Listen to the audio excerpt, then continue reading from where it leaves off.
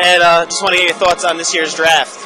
Uh, we're very excited about it. We think uh, you know the fact that we had four of the first 58 picks in the draft allowed us to uh, to sort of take a step and a half instead of just a step in the early phase of the draft. But uh, uh, it was a deep draft from the standpoint of overall talent. There weren't a lot of really big names at the top, uh, but we feel we've got our fair share, and and we think the club that'll end up going to Tri City will be pretty solid.